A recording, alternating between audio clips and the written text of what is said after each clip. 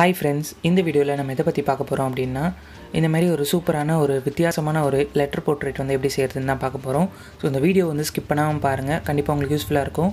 வாங்க நம்ம இந்த வீடியோக்குள்ளே போகலாம்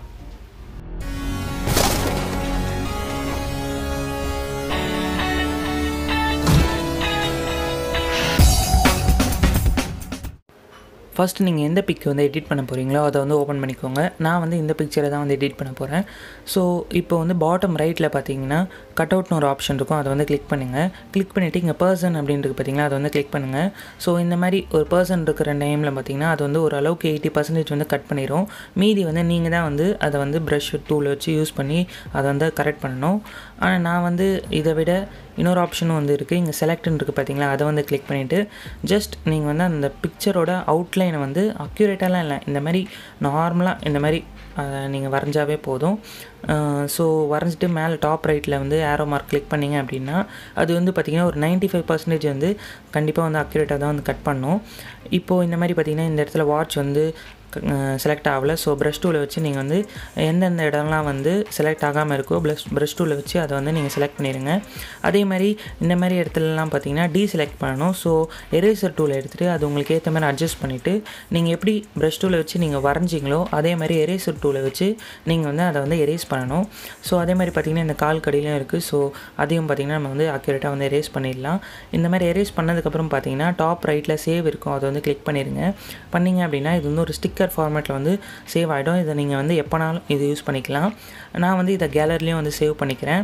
ஸோ சேவ் பண்ணிவிட்டு இப்போ நான் வெளியில் வரேன். வெளியில் வந்துட்டு லாஸ்ட்டில் பார்த்தீங்கன்னா கலர் பேக்ரவுண்ட்ஸில் இந்த பேலட்டை வந்து கிளிக் பண்ணிவிட்டு இந்த ஒயிட் இல்லாமல் கொஞ்சம் ஒரு மாதிரி ஆஷ் கலரில் வந்து நான் வந்து செலக்ட் பண்ணிக்கிறேன். இப்போ இதை பார்த்தீங்கன்னா ஓப்பன் பண்ணும்போது இது ஒயிட் மாதிரி தான் தெரியும். ஆனால் நான் வந்து ஒரு லெட்டர் வந்து போட்டு காட்டுறேன். இப்போ பார்த்தீங்கன்னா நான் ஏ அப்படின்ற லெட்டர் வந்து போடுறேன். இப்போ பார்த்தீங்கன்னா இதை வந்து சேவ் பண்ணிக்கிறேன். இப்போது உங்களுக்கே தெரியும் அந்த பேக்ரவுண்ட் கலருக்கும் இந்த ஒயிட் கலருக்கும் டிஃப்ரென்ஸ் தெரியும். ஸோ இந்த மாதிரி கலரை போட்டுட்டு உங்களுக்கு எந்த ஃபாண்ட் வேணுமோ அதை வந்து செலக்ட் பண்ணிக்கோங்க. நான் வந்து இந்த ஃபாண்ட் வந்து செலக்ட் பண்ணிக்கிறேன். இப்போ இதில் வந்து நம்ம வந்து கலர் அண்ட் ஸ்டோக் வந்து செலக்ட் பண்ணணும். ஸோ நான் கலர் வந்து பிளாக் வந்து செலக்ட் பண்ணிக்கிறேன். ஸ்டோக் அதாவது அவுட்லைன் வந்து பார்த்திங்கன்னா ஒயிட் கலர் வந்து செலக்ட் பண்ணிக்கிறேன். பண்ணிவிட்டு இது வந்து டிக் மார்க் வந்து கொடுத்துருங்க. கொடுக்கறதுக்கு முன்னாடி நீங்கள் எந்த இடத்துல வந்து இதை ப்ளேஸ் பண்ணணுமோ ப்ளேஸ் பண்ணிவிட்டு அந்த மேலே டிக் மார்க் வந்து கொடுத்துருங்க. இப்போது ஆட் ஃபோட்டோ வந்து கொடுங்க. கொடுத்துட்டு நீங்கள் எந்த ஃபோட்டோ வந்து இதில் கட் பண்ணி வச்சுருக்கீங்களோ அந்த கட் பண்ண ஃபோட்டோவை ஆட் பண்ணுங்கள் ஆட் பண்ணிவிட்டு ஒப்பாசிட்டி வந்து ஒரு ஃபிஃப்டி கிட்டே வந்து கம்மி பண்ணிடுங்க கம்மி பண்ணிவிட்டு இப்போது இந்த ஃபோட்டோ வந்து ட்ராக் பண்ணி கரெக்டாக வந்து ப்ளேஸ் பண்ணுங்கள் இந்த ஃபோட்டோ ஸ்ட்ரெயிட்டாக இருக்கிறதோட க்ராஸாக இருந்தால் நல்லாயிருக்கும் நான் வந்து க்ராஸாக வந்து வைக்கிறேன். அதேமாதிரி நீங்கள் எந்த ஃபோட்டோ எடுக்கிறீங்களோ அது எந்த லெட்டருக்கு வைக்கிறீங்களோ அதுக்கேற்ற மாதிரி ட்ராக் பண்ணி செட் பண்ணிடுங்க செட் பண்ணிவிட்டு எரேசர் டூல் எடுத்துகிட்டு அந்த ஃபோட்டோ வந்து அந்த லெட்டருக்குள்ளே இருக்கிற மாதிரி வந்து கரெக்டாக எரேஸ் பண்ணுங்கள் அதாவது அந்த ஒயிட் இருக்கும் அந்த ஒயிட்டை விட்டு வெளில வர இமேஜஸ் எல்லாத்தையும் வந்து நீங்கள் வந்து கம்ப்ளீட்டாக வந்து எரேஸ் பண்ணிடுங்க ஸோ இப்போ நான் பண்ணுற மாதிரி வந்து கரெக்டாக பண்ணிடுங்க பண்ணிவிட்டு டாப் ரைட்டில் டிக் மார்க் கொடுத்தீங்க அப்படின்னா இப்படி இருக்கும்.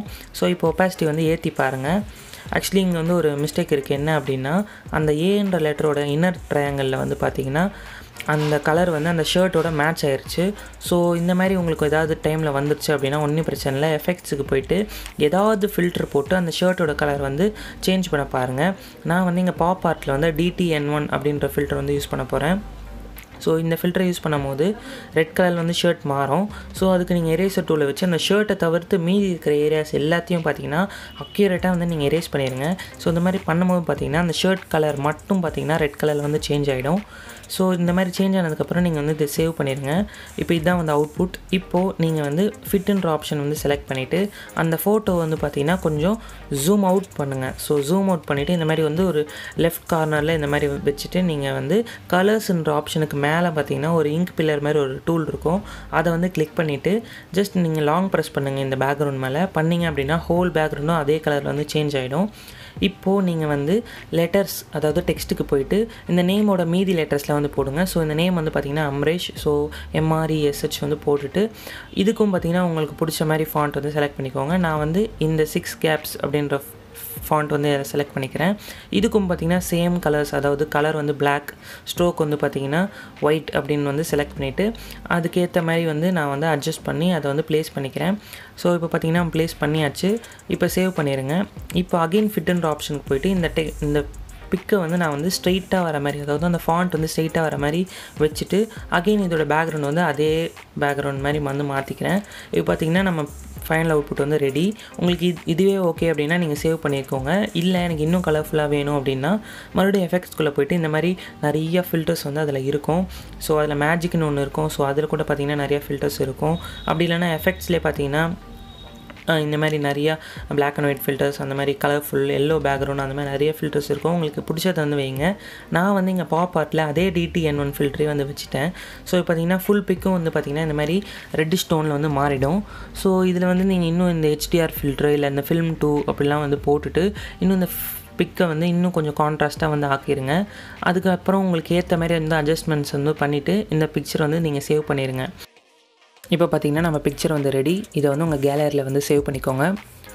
ஸோ அவ்வளோதான் ஃப்ரெண்ட்ஸ் இந்த வீடியோ இந்த வீடியோ வந்து உங்களுக்கு பிடிச்சிருக்கோம் நான் நம்புகிறேன் கண்டிப்பாக வந்து இதை நீங்கள் வந்து ட்ரை பண்ணி பாருங்கள் உங்கள் ஃப்ரெண்ட்ஸில் வந்து உங்களை வந்து கேட்பாங்க ஏ எப்பரா பண்ண? இது சூப்பராக இருக்குது டிஃப்ரெண்ட்டாக இருக்குது எனக்கும் பண்ணி கொடுறா அப்படின்னு வந்து கண்டிப்பாக கேட்பாங்க. ஸோ இதை வந்து மறக்காமல் ட்ரை பண்ணி பாருங்கள் ஹாய் ஃப்ரெண்ட்ஸ் இந்த வீடியோ உங்களுக்கு பிடிச்சிருந்ததுன்னா லைக் பண்ணுங்கள் ஷேர் பண்ணுங்கள் அப்புறம் மறக்காமல் கீழே இருக்க சப்ஸ்கிரைப் பட்டனை எப்படி சப்ஸ்கிரைப் பண்ணுங்கள் அப்புறம் அந்த பெல் பட்டனையும் மறக்காமல் கிளிக் பண்ணுங்கள் அப்போ தான் நான் போடுற வீடியோ நீங்கள் மிஸ் பண்ணாமல் பார்க்க முடியும்.